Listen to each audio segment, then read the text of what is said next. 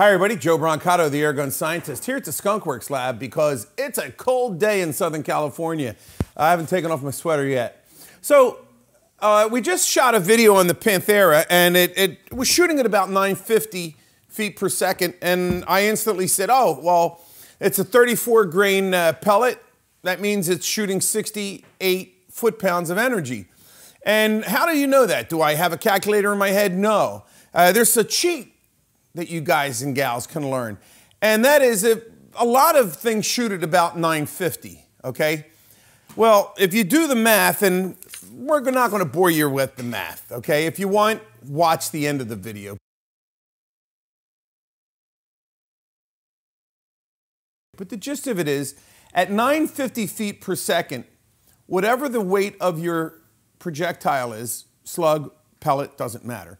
If it's for instance, 34 grains, you would double 34 and get 68, and then you'd have 68 foot pounds. So at 950, and only 950 ish, 948, 950, you know, not 900 or 800, at 950, double it. That will give to you the approximate foot pounds of energy. The exact number is 94, 948.9. Round that to 949, round that up to 950. In fact, Here's the cheat sheet. Okay, so we're going to zoom in on this. We're going to let you see it. But the numbers that you're going to want to remember the most are 887 is one and three quarters, and uh, 821 is one and a half. Now, if you're shooting a Springer, other numbers are 750 is one and a quarter, and 670 is an even one. And I also have them, and it actually works better uh, in uh, metric system.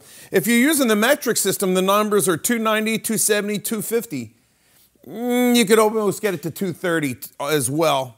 Um, so it's pretty cool. So we're gonna flash these numbers up, memorize them. You will have a test after the class. Uh, no, seriously though, easy way to know how to calculate in your head your foot pounds of energy when you just know the velocity and the grains of the pellet without a calculator. And this is Joe Brancato, the airgun scientist, saying thank you very much for watching our uh, videos. Please put down your comments. We like the interactions back and forth, questions uh, and comments. Take care, God bless, and we'll catch you next time. Please remember, like and subscribe.